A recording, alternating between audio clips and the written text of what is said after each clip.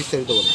গত দেড় মাস ধরে আমার স্বামী স্বামী গেছে গা, আরেকজন মহিলা লইয়া কইছিল ষোলো তারিখ কইছে, ইয়েতে যাইব, সাবরুম যাব টিপ লইয়া।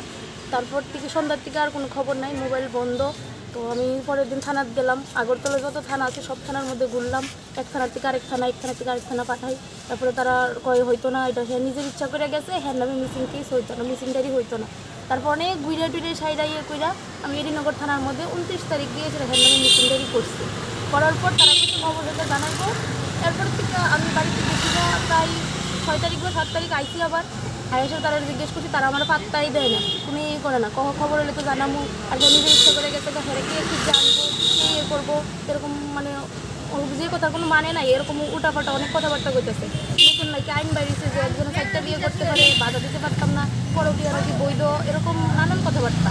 এরপরে কইছে, ওই থানার ওসি কইছে আমারে ইয়ে করতে। আমি এখানে আয়া গেছিলাম প্রেস ক্লাব আরেকদিন আয়া গেছিলাম তারা যখন কোনো জবাব দেয় না প্রেস ক্লাবের থেকে একজন দাদা কইয়ে দিছে, ওই থানার মধ্যে ফোন করে ওসিরে যে এরকম এরকম একজন মহিলা আইছে, তোমরা কেন এটা দেখতেছো না?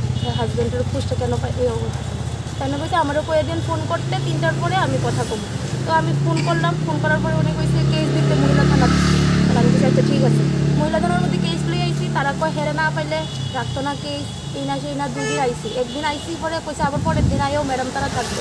আবার পরের দিন আইসি গত শনিবার দিন। আইসি পরে তারা কেস রাখে না। শুধু খাতার মধ্যে কমপ্লেন লিখছে, এতটুকু কইছে, তুমি যাও আবার এই নগর থানার দিয়া কো তার লোকেশন টাওয়ার লোকেশন বার করতে ইয়ে করতে।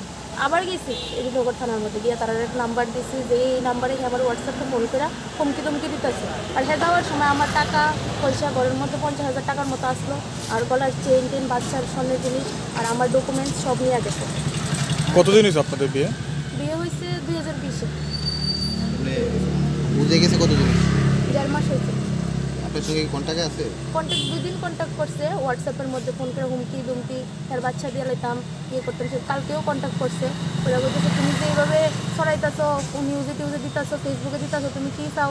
আমি মরতাম নিয়ে নিচে নিতে আমি বলছি, তুমি বাড়িতে আয়া পড়ো করে না হ্যাঁ আইতো না আমি যেন আসে আসি আমি তোর লোকের সংসার করতাম না সেটা নানান কথাবার্তা উল্টা পাল্টা যা পারতেছে মানে তাই। আপনার সঙ্গে সংসার না করার পিছনে কারণটা ও আরেকজন মহিলা লইয়া গেছে। শিল্পী সাহা নামে একজন মহিলা প্রতাপগড় বাড়ি ও ওই মহিলারে নিয়ে থাকব। ওই মহিলারা নাকি ও ভালোবাসে এই যে আম- নাকি ভালো না। তা আমি কিছু আমি যদি ভালো না হই তুমি আয়ো আর এসে তুমি সামনাসামনি বইয়া কথাবার্তা কও। আমার কি দোষ তুমি প্রমাণ করো।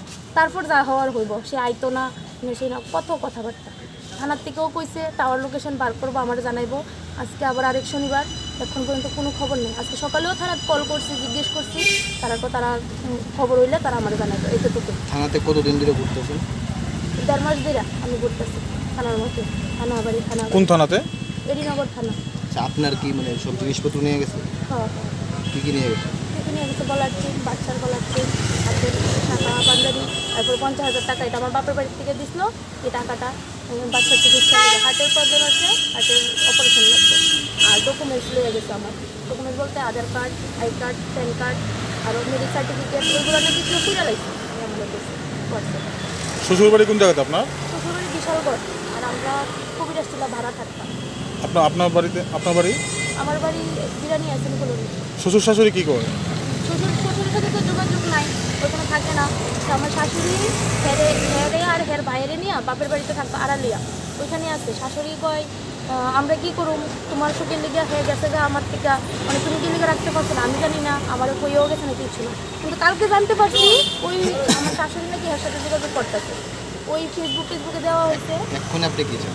এখন আমি চাই হেরা যেখানেই থাকুক হেরা খুঁজে বাড়ি করে হোক হেরা আমার সামনে আনা হোক। সেই কী চাই বই একটা কথাবার্তা হোক আমার কাগজপত্র যা আছে সব দিয়ে লাগ আমার বাচ্চাটার একটা ব্যবস্থা হোক সে আমার যদি নাও খায় একবারে সব কিছু শেষ করে দিয়ে যা খুশি যা করুক আমার দেখার বিষয় না। কিন্তু আমার তো জুলাই রেখে গেছে এখন পথে নামাই খেয়ে গেছে।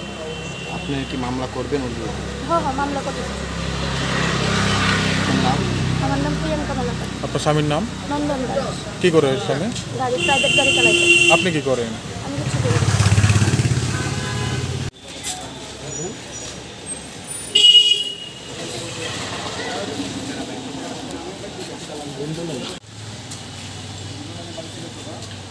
বলে বলে